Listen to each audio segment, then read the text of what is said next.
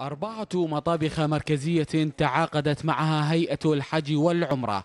تعمل على تجهيز وجبات طعام طازجة للحجاج العراقيين المتواجدين على الأراضي السعودية لأداء مناسك الحج إذ يعمل 65 طباخا عراقيا على تجهيز الطعام العراقي الذي يناسب ذائقة الحاج العراقي.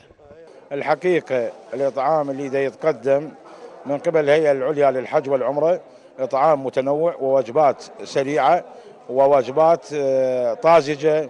وتجي في أوقات يعني بحيث نجي نلقى الأكل متوفر.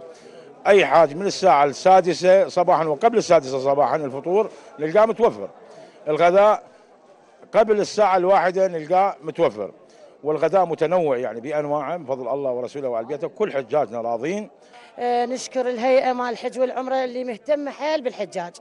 الأكل يوميا نوع المي اللبن الشرابيت الشاي يعني خير من الله.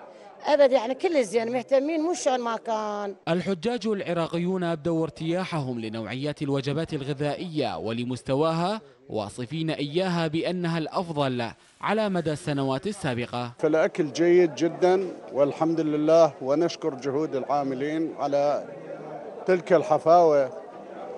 والأكل يناسب كافة شرائح الحجاج. من ضمنهم أصحاب الأمراض المزمنة والأشخاص العاديين والشباب والأكل متنوع وجيد جدا 200% وليس 100% 200% كمية الغذاء كافية وممتازة و بمستوى البيت طبخ جيد نظافة متوفرة. أنا أحس السنة أفضل من السنوات الأخرى حسب ما نسمعه أو نعرفه أو حسب ما جينا سابقا. بالنسبة للأكل أكل خوش أكل تمام ونظيف وجيد ويعني يجيب وقته وحار ومتنوع يعني يوميا يجيبون أكل. وأنا دا أشوفه حتى أكل يعني مناسب للكبار. يعني دا يجيبون بس صدر دجاج أكل ما بيدهن ومرتب ونظيف كله جيد. يعني الحمد لله الهيئة قائمة بواجبها بأكمل وجه.